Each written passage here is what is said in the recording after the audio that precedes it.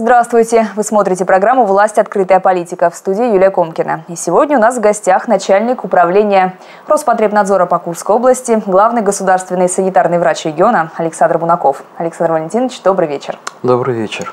Вам я напоминаю, что мы работаем в прямом эфире. Вы можете звонить к нам в студию и задавать интересующие вас вопросы нашему гостю. Номер телефона вы видите сейчас на своих экранах. 70 35 15. Также оставляйте свои вопросы на сайте seiminfo.ru. Мы обязательно постараемся включить их в наш эфир. Александр Валентинович, ну, в последнее время в Курской области ЭПИД ситуация, обстановка вполне себе неплохая. А, ЭПИД-пороги по гриппу, ОРВИ мы не преодолеваем, к счастью, иммунизация идет успешно. Во многом, наверняка, благодаря этому у нас а, многих тяжелых заболеваниях куряне не вспоминают даже. Но все-таки на чеку надо быть постоянно, особенно в период отпусков. Если выезжать за рубеж, то нужно позаботиться о прививках заранее. Как то работаете с турагентствами, с турфирмами по этому вопросу? Все-таки люди должны подготовиться подготовленными ехать на отдых? Вы в своем вопросе практически ответили на все, что тревожит и меня, и, наверное, наших земляков. Конечно, э, ситуация, санэпидобстановка в нашей области благополучная. Э, это происходит благодаря тому, что проводится огромная работа руководством нашей области, здравоохранением, э, лечебниками, врачами и врачами профилактической медицины, а также специалистами многих смежных специальностей, ветеринарами, лесниками. Огромное количество людей участвует в обеспечении санитарно-эпидемиологического благополучия. Но это понятие еще и очень хрупкое. Как только нарушается баланс, может, могут прийти неприятности. Поэтому действительно, если мы выполняем все профилактические мероприятия, мы можем быть уверены, что с нами и летом ничего не случится. Особенно, когда мы собираемся в отпуск.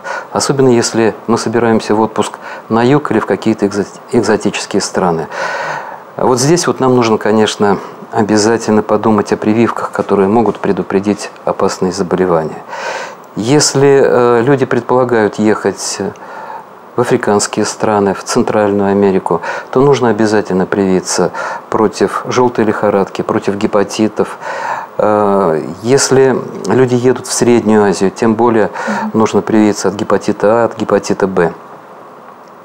И в любом случае нужно соблюдать правила предосторожности. Элементарные, те, которым нас учат в школе, еще и родители дома с детских лет.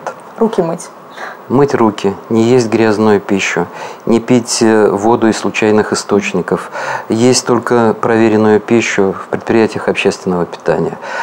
Их немного, но если их соблюдать, то можно себя обезопасить. Но все-таки вот вы сказали, там перечислили гепатиты, да, от чего нужно сделать прививки. Но ведь их нужно сделать заранее, а не так, сегодня я сделаю, завтра поеду, ведь наверняка Конечно. и перебаливает организм.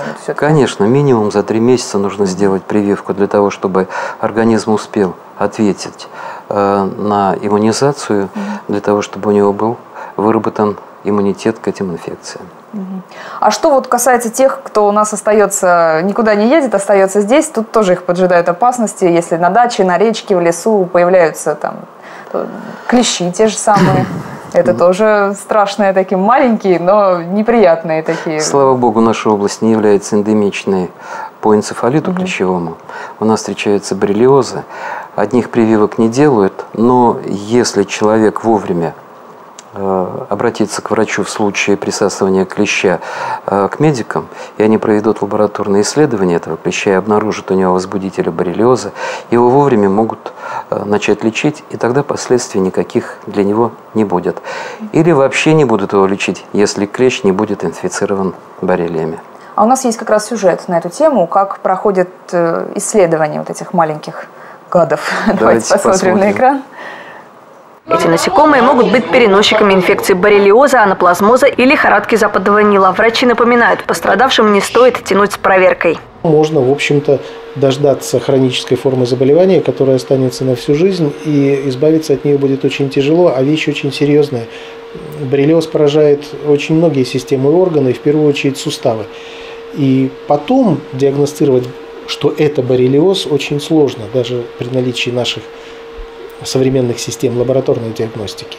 Медики настаивают, за помощью нужно обращаться сразу после укуса. Важно исследовать и насекомые. Такой анализ в курских клиниках и медицинских центрах стоит от 625 до 800 рублей. Срок высеивания вируса – сутки. Люди очень переживают, особенно когда э, клещ присасывается к телу ребенка, э, переживают, начинают сразу же нам звонить только сдав клеща, хотят сразу услышать результат. По нескольку раз переспрашивают, что означает, если результат отрицательный. В прошлом году клещевыми инфекциями заразились 20 курян. Чтобы в этом году история не повторилась, профилактику начинают с самых маленьких. Детей учат готовиться к прогулкам по лесу. Говорили о безопасности, говорили, что в траву особенно не ступать, а по асфальтированным дорожкам. Особенно там, где гуще ветвей, не заходить. Это детки сами знают. Всем, кто не собирается отказываться от посещения лесопарков даже в сезон активности клещей. Специалисты Роспотребнадзора советуют перед такими прогулками обрабатывать одежду репеллентами.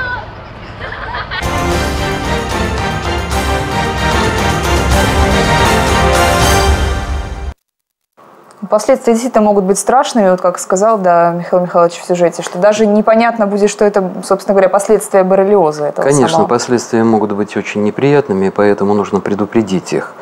И э, мы постоянно обращаемся в средства массовой информации, на телевидение, встречаемся с вашими коллегами на других каналах и говорим о том, как себя вести нужно на природе, как нужно одеваться, каким образом можно себя обезопасить от присасывания клещей.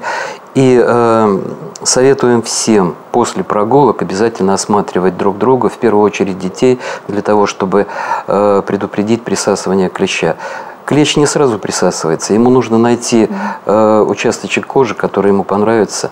Э, это требует времени. И чем быстрее клеща снять с тела, тем меньше риск инфицирования человека. У нас э, в этом году уже пострадало от присасывания клещей э, 3442 человека. Это много, э, но меньше, чем в других субъектах. И если в других субъектах, в том числе в ближайших регионах, граничащих с нами, регистрируется до нескольких десятков э, случаев боррелиоза, у нас их зарегистрировано на сегодня всего 8, четверо из которых дети. дети. Поэтому э, драматизировать мы не будем ситуации, мы лучше будем знать, как поступать и правильно действовать в случае, если наступит эта неприятность. Если эта неприятность наступила, что дальше? Это какое-то лечение антибиотиками, да, последует? Если наступила эта неприятность, если поставлен диагноз боррелиоза, конечно, э, медики назначают лечение. И чем раньше, тем быстрее и лучше оно проходит. Ну, в принципе, бояться и нервничать нет, не стоит. Нет. Лучше всего ничего не бояться, лучше поступать правильно. И действовать. Да.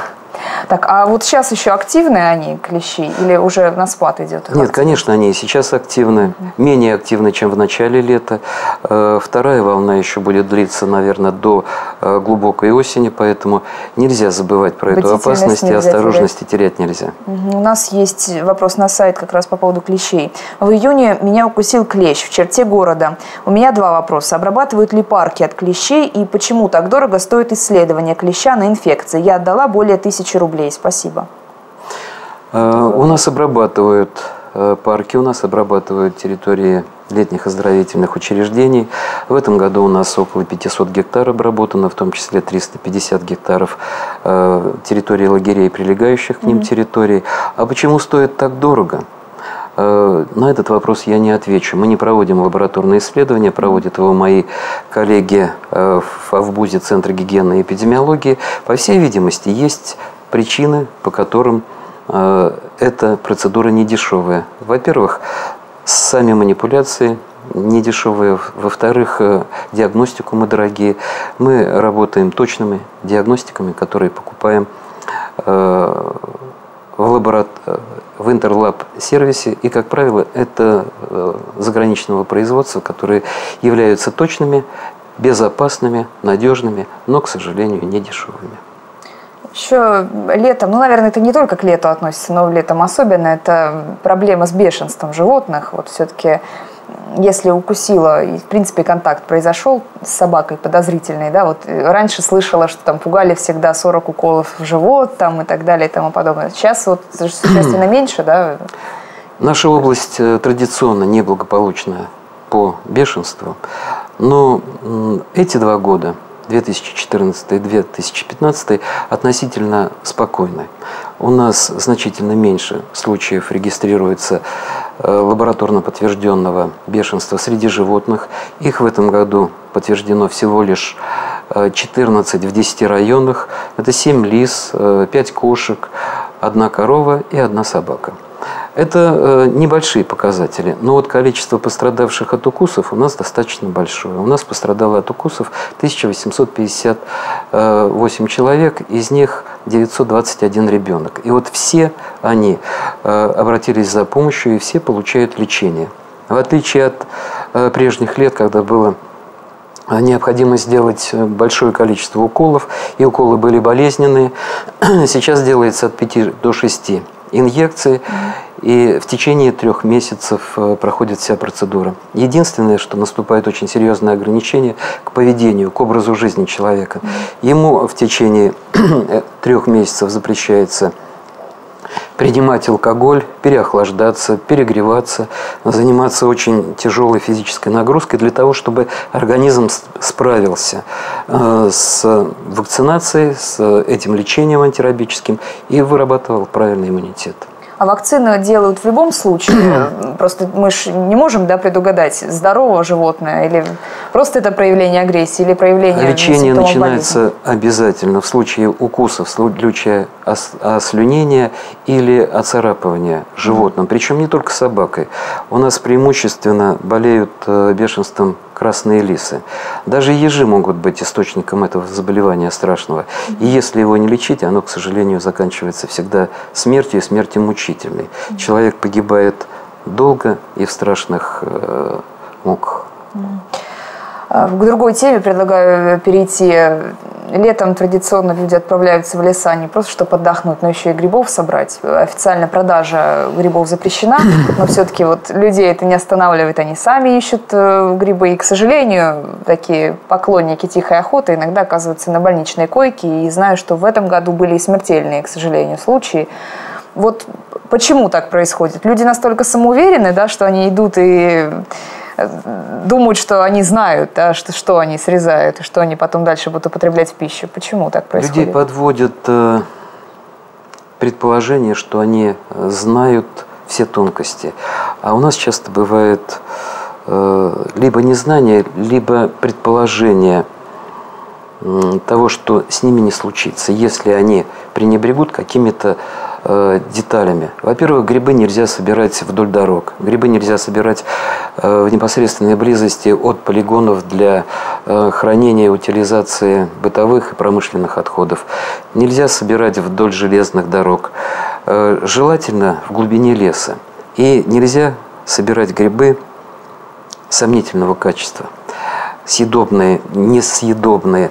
Это может сделать только опытный человек. А у нас, к сожалению, часто приходят люди в лес, не зная названия грибов, и собирают то, что ни в коем случае нельзя употреблять в пищу. Но иногда, к сожалению, и опытные грибники становятся жертвами э, несъедобных грибов. У нас в этом году зарегистрировано 22 случая отравления грибами, 26 пострадавших и двое человек погибли. Погибли от э, употребления в пищу бледной поганки, которая очень похожа на сыроежку.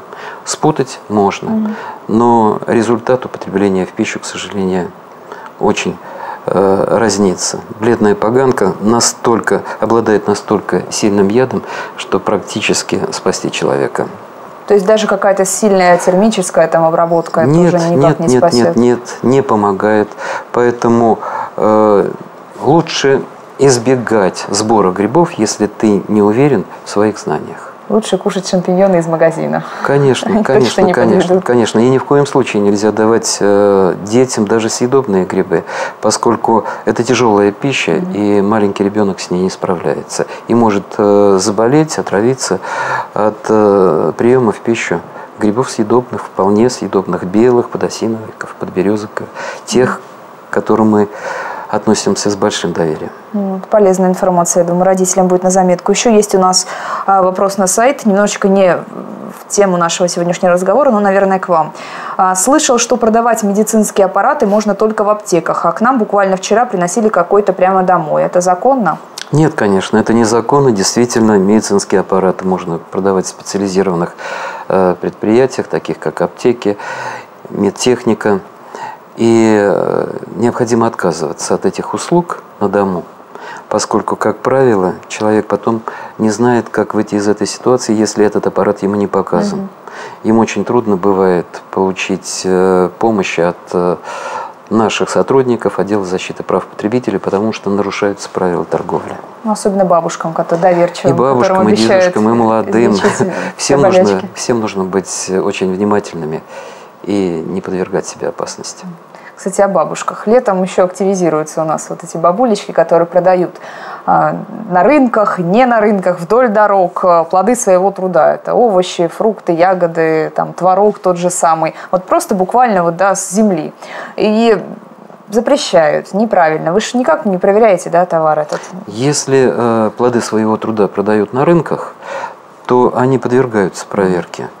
И есть гарантия э, их качества. Если же продаются в неустановленных местах торговли, то здесь уже человек берет на себя ответственность.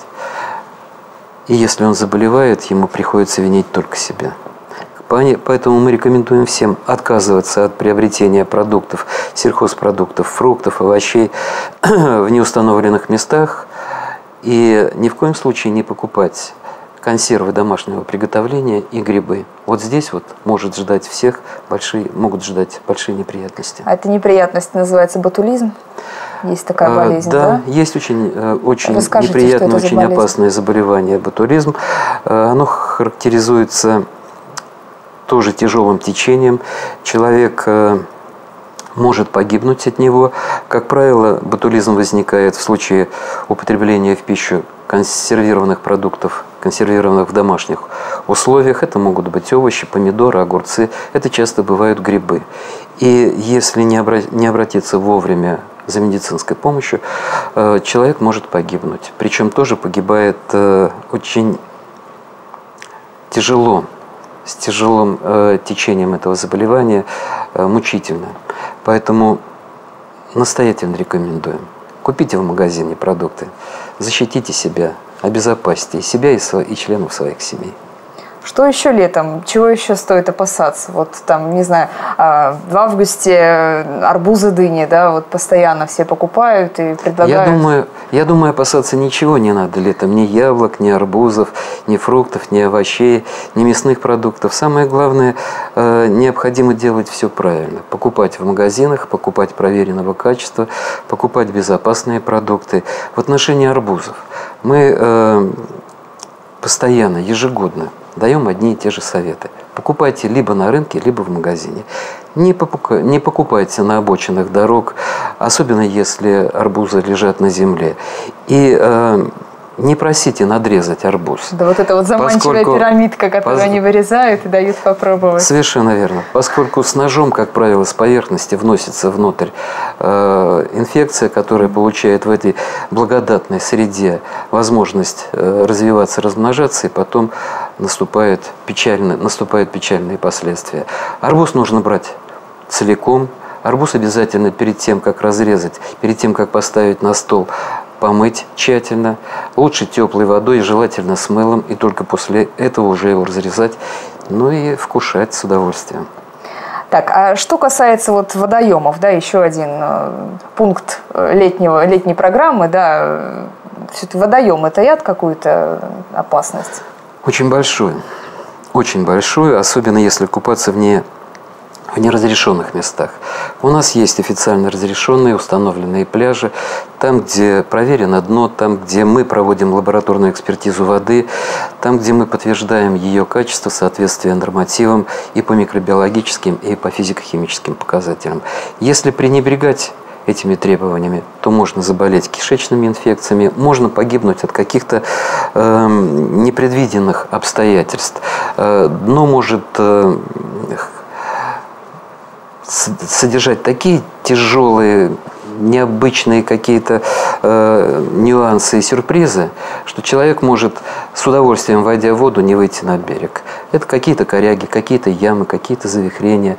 Э, поэтому слушайте внимательно советы и руководствуйтесь ими. Ходите на наши городские пляжи и соблюдайте правила техники безопасности. Ну вот если в целом подводить, да, итог, уже лето, в принципе, подходит к концу, вот насколько благополучно мы его пережили, насколько вот дальше мы в здоровье ли будем продолжать? В отношении инфекционных заболеваний у нас, слава богу, все благополучно. У нас отмечается снижение кишечных инфекций, у нас э, отмечается снижение э, заболеваемости гепатитом А, у нас не регистрируется дифтерия, краснуха, корь. Э, благодаря, благодаря постоянной работе медиков и благодаря тому, что наши э, жители, наши земляки повышают свою грамотность. Угу. Поэтому я считаю, что наше лето проходит достойно. Лето – это маленькая жизнь, и мы ее должны пережить э, так, чтобы не было мучительно больно. А для этого соблюдаем все правила гигиены, и эпидемиология. Вот вы сказали, что медики ведут работу. Это какие-то профилактические беседы, да, куда-то вот как-то выезжаете? Или это только с помощью средств массовой информации, там, интернет, сайтов? Вы, вы нам оказываете огромную помощь. И, конечно, мы готовим статьи, конечно, мы размещаем пресс-релизы э, в интернете, на наших сайтах. Это делают практически э, во всех больницах. Готовятся бюллетени, э, готовятся плакаты, мы выступаем с лекциями, беседами. Это все, конечно, дает свой результат. Но а использовать средства массовой информации это самое главное, по всей видимости, потому что вы нам помогаете дойти до миллионов, до тысяч людей. Поэтому мы вам очень благодарны и с радостью идем на такие передачи. Значит, моем руки, следим за своим здоровьем. И последний момент уточняющий. Если вдруг человек посчитал, что нарушены его права, куда ему обратиться? Если нарушены его права как э, потребителя услуг, то, конечно, ему нужно обратиться в управление Роспотребнадзора в отдел защиты прав потребителей. Мы защищаем права потребителей. Э, права потребителей и потребителем является тот, кто приобретает услугу или товар. Мы э, от других не можем защитить каких-то проблем. Но вот с этими проблемами, слава богу, справляемся. У нас есть прием, мы отвечаем на письма, мы отвечаем на обращения, мы выходим на заявления, э, работаем э, по жалобам граждан и, конечно, по результату рассмотрения каждого заявления и жалобы даем письменный официальный ответ.